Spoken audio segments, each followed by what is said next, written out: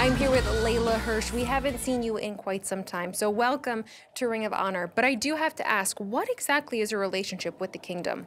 It's real simple. Mike Bennett and Maria, they needed somebody legit for tonight. I showed up. They needed somebody to get the job done.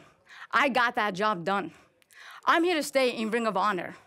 See, Ring of Honor is known for innovation, high flying. I'm a legit shooter. So anybody that gets in a ring with me, good luck trying to fly through me.